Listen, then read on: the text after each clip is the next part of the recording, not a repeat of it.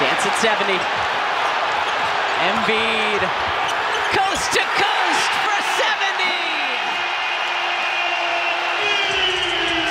Comes Paul Reed. And that's going to do it. Franchise history here tonight. That is a nice round number. 70 for your viewing pleasure.